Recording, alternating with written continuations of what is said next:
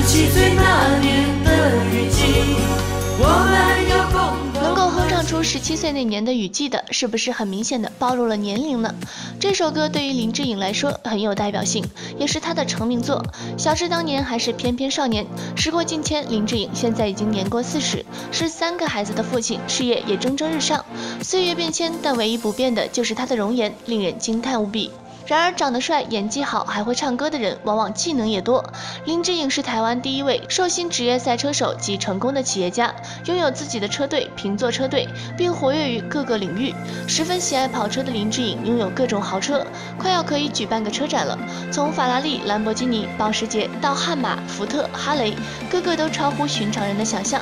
此外，奔驰、迈凯伦、宾利、宝马的各种车型数不胜数。能够收藏这么多豪车，其经济能力可见一斑，爱车程度更是接近痴迷。他最贵的一辆跑车是兰博基尼 Vanino 敞篷版，这款车非常罕见，全球只有九台，价值一点一二亿。搭载了6.5升 V 十二发动机，最快速度可达每小时355公里。驾驭它还是很考验技术的，但是有一点，一旦遇到下雨天，驾驶员就会被淋，车内也会进水。原来酷炫的背后藏着这样简单的弊端。但是拥有这样跑车的人，出门应该会关注天气吧？如果突然下雨，那赶快以300的速度跑回家呀！虽然豪车有缺点，但还是阻挡不住人们的喜爱。像林志颖这样开挂的人生，小编也只能去羡慕了。